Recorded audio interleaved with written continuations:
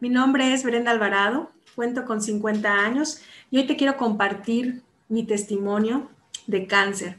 En el 2016 yo tuve cáncer de mama y desgraciadamente en el 2018 recaí con cáncer de hígado y tristemente pues me desahuciaron los médicos.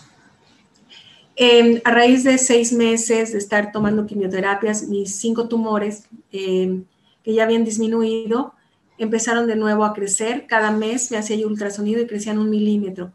A partir de octubre del 2019 empiezo a tomar Genomex y nos damos cuenta que después de cuatro meses los tumores detienen su crecimiento, al igual que una manifestación que tenía en, la piel por sistema inmunológico bajo, eh, también desaparece el problema. Este año solo he tenido dos pequeñas manifestaciones cuando tenía yo cada mes y medio, cada semana, y mis análisis han salido súper bien.